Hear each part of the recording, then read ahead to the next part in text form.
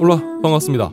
지금 나오는 음악 Still Alive를 듣자마자 추억에 젖는 분들이 계실 겁니다. 바로 2007년 출시한 게임 Portal을 기억하는 old 게이머 분들일 텐데요. 추억으로 기억되는 명작 게임 포털이 엔비디아 RTX 리믹스를 통해서 돌아왔습니다. 바로 Portal RTX입니다. 자, 이 오프닝을 통해서 여러분들께 Portal RTX를 소개해 드린 게 어느덧 1년 4개월이나 지났습니다. 그리고 포탈 RTX는 엔비디아의 최신 그래픽 기술인 DLSS 3.5와 RTX IO를 탑재하게 되었습니다. 이제 이미 관심 있는 유저분들이라면 플레이를 해 보셨겠지만 Portal RTX는 17년의 시간이 무색할 만큼 최신 그래픽 기술의 힘을 빌어 굉장히 훌륭한 그래픽 퍼포먼스를 보여주고 있습니다. 이번 영상에서는 포탈 RTX에 탑재된 엔비디아의 최신 그래픽 기술인 DLSS 3.5와 RTX IO에 대해서 자세하게 살펴볼까 합니다. 자, 먼저 Portal RTX가 등장할 수 있게 해준 가장 큰 역할을 한 NVIDIA RTX Remix를 짚고 넘어가야 될 것 같습니다. NVIDIA RTX Remix는 고전 게임을 위한 RTX 모드 생성 툴입니다. 게임을 좋아하는 분들이라면 아마 모드라는 걸 들어보셨을 겁니다. 이 기존 게임에 모드를 적용시키는 것으로 그래픽을 향상시킨다든지 혹은 새로운 컨텐츠를 추가하는 등 모드를 통해서 지속적으로 게임에 새로운 재미와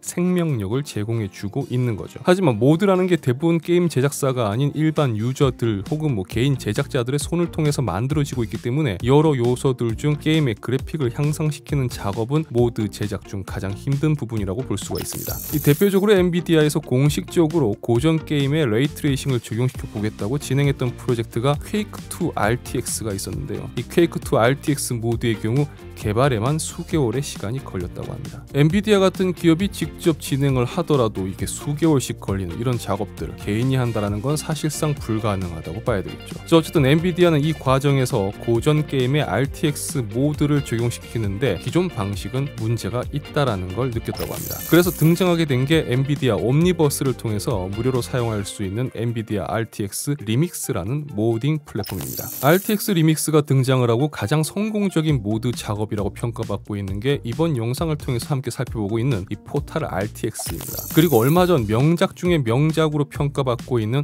Half-Life 2도 RTX Remix를 통해서 RTX 버전으로 제작 중임이 공개되었죠. 자, 그럼 이제 Portal RTX에 새롭게 적용된 DLSS 3.5와 RTX IO에 대해서 살펴보도록 하겠습니다. DLSS는 여러 버전이 있지만 가장 최신 버전은 DLSS 3.5입니다. DLSS 버전이 올라가면서 여러 기능이 추가되었는데 DLSS 3.5는 Ray Reconstruction이라는 ray tracing 관련 기능이 추가된 것을 특징으로 합니다. 3.5 버전에서 추가된 Ray Reconstruction은 기존 ray tracing 및 이미지 광원 효과 처리에 사용되던 denoise 기능 부분에 AI 딥러닝을 접목해서 AI가 이미지를 분석해 광원 효과를 반영시키는 기술이라고 이해하시면 될 것 같습니다. 그러니까 기존 ray tracing의 품질을 더 높이고 ray tracing에 AI 딥러닝을 접목해 GPU 부하를 낮춰 프레임이 향상되는 효과를 얻을 수가 있는 기술이라는 거죠. ray tracing을 지원하는 게임들이 점점 더 많아지는 상황에서 어쩌면 꼭 필요한 기능이라고 볼 수가 있을 겁니다. 그리고 이 기능은 기존 GeForce RTX 20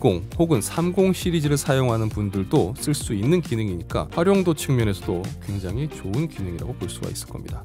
자 그리고 이제 RTX IO에 대해서도 살펴보겠습니다. RTX IO를 이해하기 위해서는 게임 그래픽 데이터의 처리 과정에 대해서 이해할 필요가 있습니다. 자 전통적으로 데이터는 디스크 드라이브에서 CPU로 전송이 되고 시스템 메모리를 통해서 압축 해제된 후 GPU로 전송이 됩니다. 따라서 CPU 및 시스템 메모리에서 발생하는 병목 현상은 데이터 로드 속도를 저하시켜 로딩 시간이 길어지거나 뭐 혹은 텍스처 팝인이 늘어지는 문제를 발생시킵니다. NVIDIA의 RTX IO는 압축된 데이터를 CPU 시스템 메모리에서 최소한의 staging만 거친 후 GPU 메모리로 바로 전달시킵니다. 그러니까 GPU가 가진 높은 처리 성능을 데이터 압축 해제에 활용하기 때문에 이제 CPU는 리소스를 다른 작업에 할당할 수가 있는 거죠. 자, 결과적으로 그래픽 데이터 처리에 있어서 texture pop-in 끊김이 줄어들고 고해상도 환경의 경우 고품질 texture가 빠르게 처리될 수 있으므로 전반적인 그래픽 품질과 사용 환경이 개선됩니다. 또한 데이터 이동 속도가 굉장히 빨라지기 때문에 뭐 로딩 시간도 줄어드는 효과가 있죠.